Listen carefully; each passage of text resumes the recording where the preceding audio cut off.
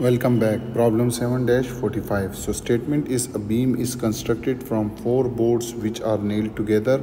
If the nails are on both sides of the beam and each can resist a shear of 3 kilonewton, determine the maximum load P that can be applied at, on to the end of the beam. So you can see this is the cantilever beam having a load P at end C and there is a 3 kilonewton load at a distance of 2 meter from this side.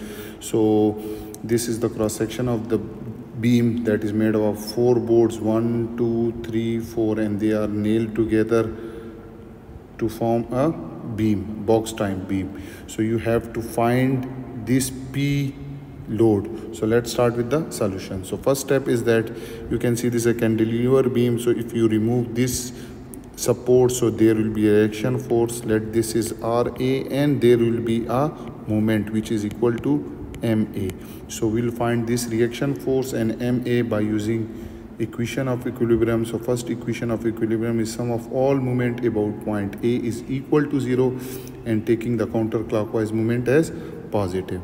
So about point a one moment is this external moment or reaction moment which is counterclockwise. So it will be positive the second moment will be 3 into perpendicular distance is 2 meter and this is producing clockwise so it will be negative. And third moment will be p into perpendicular distance is 4 meter and this is also producing clockwise so it will be negative. So sum of all moments will be 0 so i will write ma minus 3 into 2 minus p into 4 is equal to 0 so from here you will get ma is equal to 6 plus 4p so this is the reaction moment. Now we will find uh, ra by using equation of equilibrium that sum of all forces along y direction must be equal to 0 and force upward is taken as positive. So ra is upward so it will be plus minus 3 minus p will be equal to 0 so i will write ra minus 3 minus p is equal to 0 so from here we will get ra is equal to p plus 3 p is not known we will find this. Now you have this uh, ra we know generally know that uh, uh, shear flow is equal to q which is equal to horizontal shear force per unit length. This is the spacing. This is the s clear? So we, we have fh we have s we will find q and we also know that q is equal to v into q divided by i. So v is the maximum shear force so for that we will draw the shear force diagram. So i will draw the will take the horizontal line from the end of the beam and this horizontal line to show the length. This will be in meters you have shear force. This is 0 point. Now you can see at point a we have ra which is equal to p plus 3 so let this is your point p and this is your 2p and let this point is p plus 3 so your first point will be this one.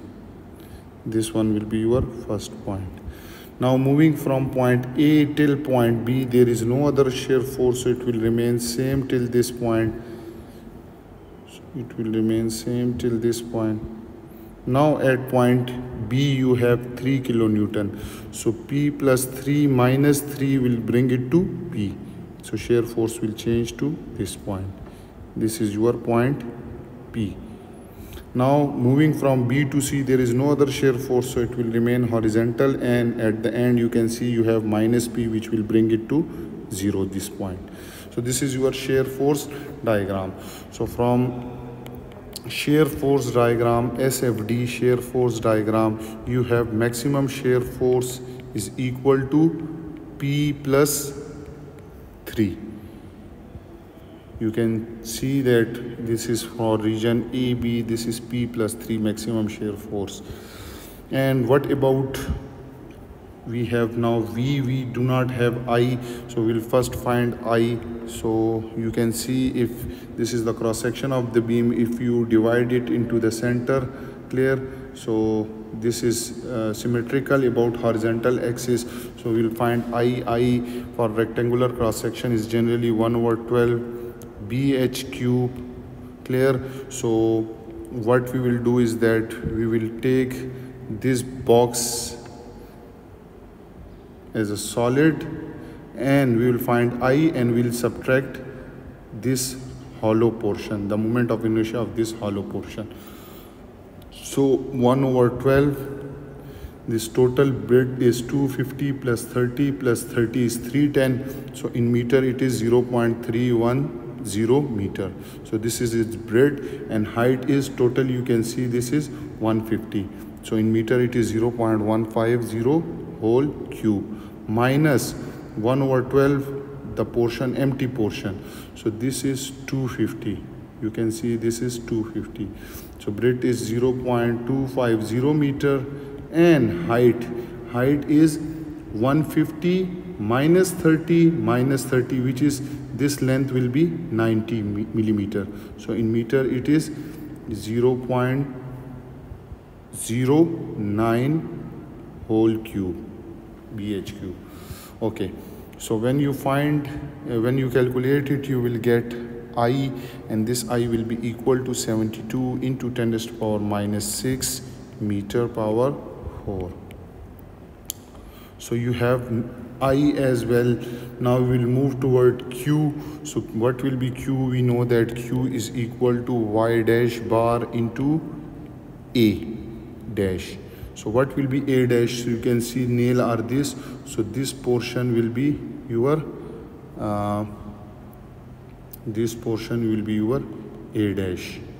This will be your a dash. And a dash is 0 0.250 multiplied by 0 0.030 meter. So 250 in term of meter is 0.250 meter into thickness is 30 millimeter which is 0.03 meter. And what about y dash? So y dash is distance from neutral axis till the mid of this section. So this is y dash bar.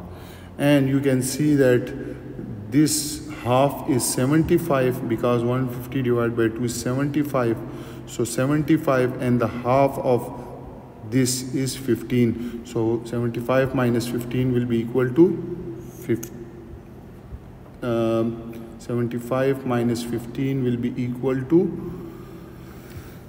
50 okay so 75 60 60 sorry 60 60 millimeter. So y dash will be equal to in meter it will be equal to 0 0.06 meter. So when you calculate it you will get q is equal to 0 0.450 into 10 to the power minus 3 cubic meter. Now you have all these values. So we know that shear force is equal to horizontal shear force per unit length. Clear? So what i am going to do is that we have been given the horizontal shear force is 3 kilonewton. Since there are two rows of nail clear so i will write 2 multiplied by horizontal shear force which is 3 divided by per unit length. So this is 100 millimeter s. So in meter it is 0.1 so when you calculate it you will get 60 kilonewton per meter horizontal shear force per unit length or shear flow is 60 kilonewton per meter. So this is q 60 kilonewton per meter. Also we know that shear flow is equal to V into Q divided by I clear. So Q is 60 maximum shear force is P plus 3 clear which is available over here. We know Q Q is 0 0.450 into 10 to the power minus 3 divided by I. And I is 72 into 10 to the power minus 6 so we are interested to find out this P. So 60 multiplied by 72 into 10 to the power minus 6 divided by 0.450 into 10 raised to power minus 3 is equal to p plus 3 and your p will be equal to 60 into 72 into 10 raised to power minus 6 divided by 0.450 into 10 raised to power minus 3 minus 3 and when you calculate it you will get P will be equal to 6.60 kilo Newton. So this is the load P that can be applied to this end of the beam. P is equal to 6.60 kilo Newton. And that was all about this problem 7-45. I hope you have enjoyed this video those who are new to my channel then subscribe it and don't forget to press the bell icon so that you can get notification about my latest video. If you have any question you can ask me in comment section. Thank you for watching